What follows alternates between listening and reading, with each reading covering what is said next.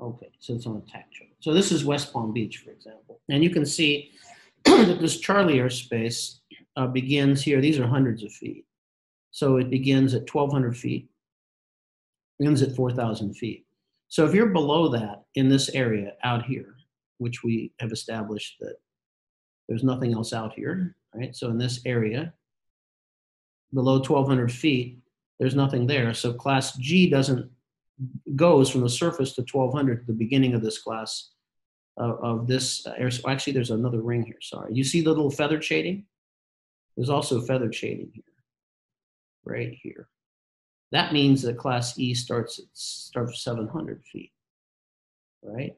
And out here it starts at where? Nothing else out here, 1200.